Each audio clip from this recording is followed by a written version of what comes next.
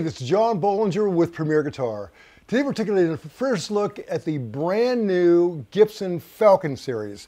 Now, this is a, Gibson was one of the first guitar amplifier manufacturers in the world. And it's great that they got back to it with the help of Randall Smith from Boogie. So it's a um, designed by, by this renowned amp uh, builder along with the Mesa Boogie team and out for you today. There's two versions. There is the 5 watt Falcon with the 10 inch and the 15 watter with the uh, 12 inch speaker. And we'll get back, we'll get into both of them after you take a minute to subscribe below. That way we can keep you up to date on all the cool gear that's out there. So here's how we're recording it. I'm gonna try three different guitars. This is a 2020 uh, Les Paul, basically stock. I'm gonna use my old Music City Les Paul so you can hear what it sounds like with um, mini humbuckers. And then an old 1954 Switchmaster so you can hear P90s. And right now I'm running straight into the amp, but I wanna try an overdrive and a delay later on so you can hear it. Recording with the Shure SM57, which is in going to a UA Apollo 8 and then into Apogee and out to you all. So let's get into it a little bit. Um, I'm in this little five water, it's what I love about this amp, it's a, you can't have a more pure signal flow than this. All you have is volume, tone, reverb, and then you have up here a switch that goes between full power and low power. Uh, so even although it's a five water, it's a loud five watts. So I'm on the, the low watt right now, which I believe is one watt but it's, it's loud. Um, uh, and right now, coming in, I had the volume goosed to, I'd say about, about eight, and the treble up, toned a little bit up to at about, oh, about noon and a half, about 1210, I guess, if it was a clock, uh, with a little bit of verb in there. And what I love about a little amp like this, you could hear it just coming so alive with that feedback, and you you know, there might be other ways to get it, but man, that is just the purest, most kind of inspiring way, I think. You, know, you can hit a note and just touch your guitar head to it, and then you're in it.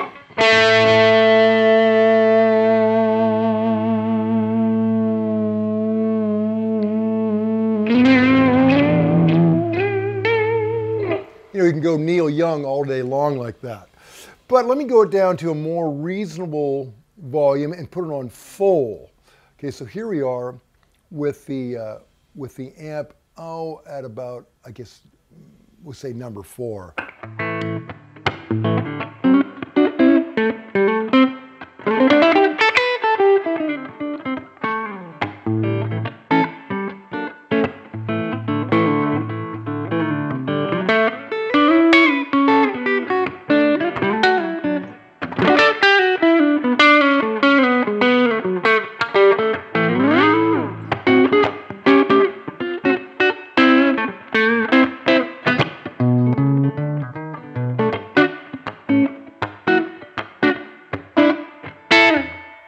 Just a great straight ahead tube amp tone. Um, and I think originally the Skylark, if I've got this right, there's also a, uh, a Skylark, Gibson Skylark lap steel that I think was often sold with this. And one of the things that drove the engineers crazy back in the day was trying to get that distortion out of it because they wanted that pure tone, kind of like you got right now. But of course, players learned that when you cranked it up and got into that overdriving, it really took off. It's just so fun to play, particularly with those lap steels. You know, a lap steel through this uh, is just an awesome feeling. So let me get it over into that, that muddiness again, cranked up a little bit on the lower wattage. So.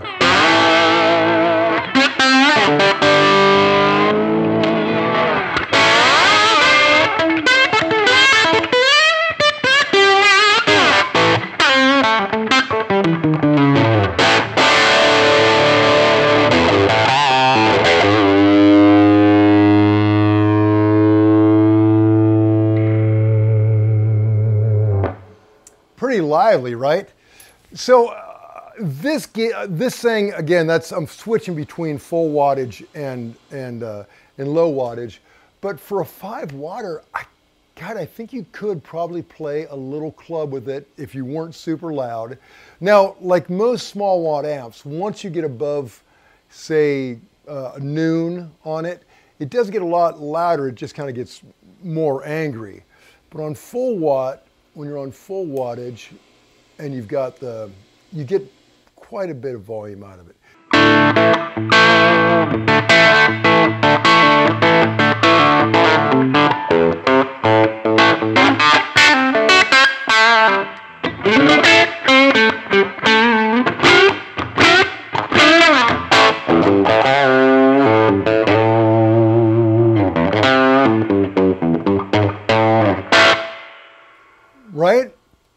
Just a great tone.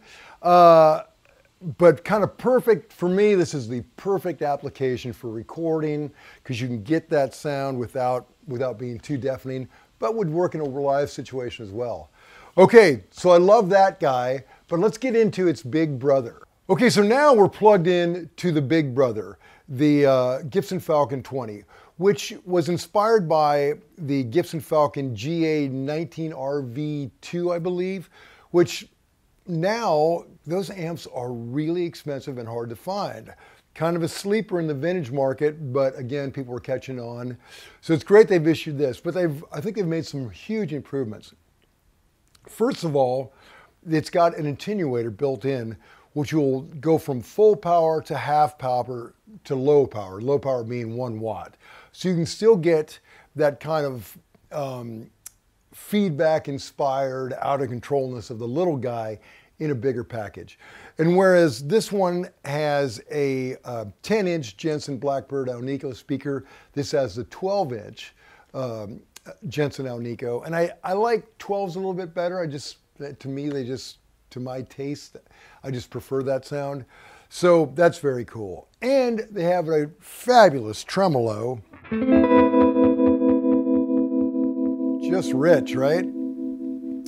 And they come with a pedal here that allows you to turn the tremolo and the reverb on and off with your feet. So that's, that's, love that. It's my favorite effect. So uh, why don't we just play a little bit on this, see what it does. The controls again are as simple as this one. You have volume, tone, and reverb, but this has depth and uh, frequency as well for the tremolo. And then you have the uh, attenuation up top. So why don't we just start where we are on this clean setting And right now I'm on full power.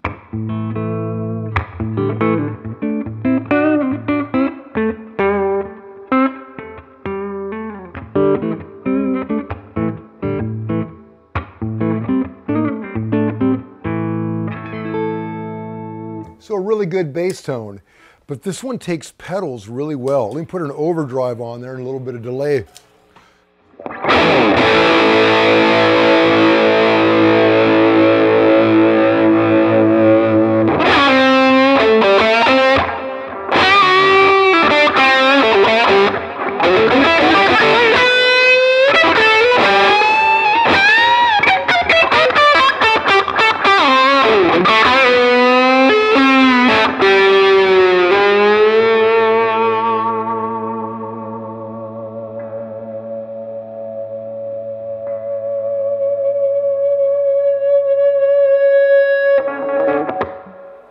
Out and have a bite, still ringing.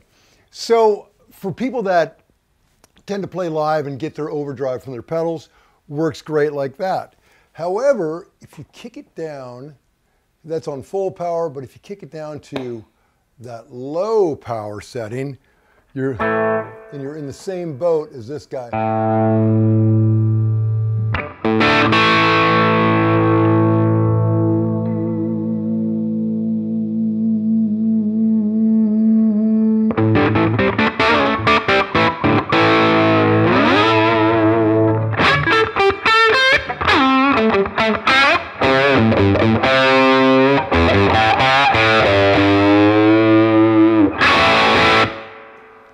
Right? Now let's try another guitar. Okay, so this is my Music City Les Paul with mini humbuckers in it. Now I'm on still on low power.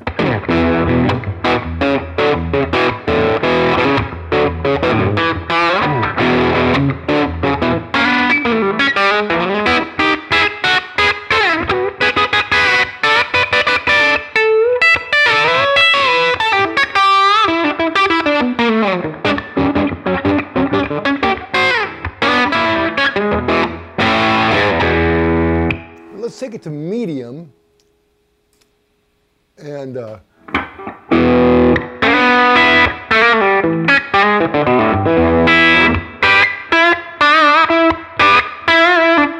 love that.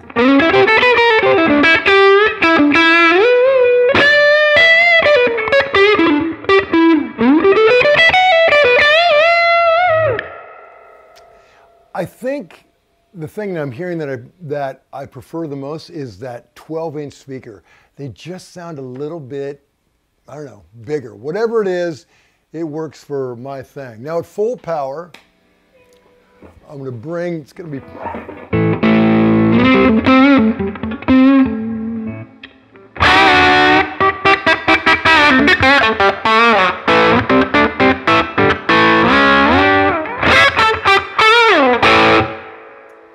So I've got in my arsenal back there, I've got a 64 Deluxe, and this is louder than that amp. Um, it's, it's pretty dang loud.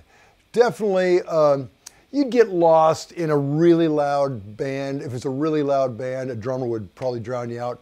But for most work, particularly if you're miking it, you'd be you'd be fine on a on a um, on a gig with this playing with a band, and plenty loud enough. Now let me take it down to a more reasonable level. You're gonna hear this rich verb. Let me crank it up a little bit more.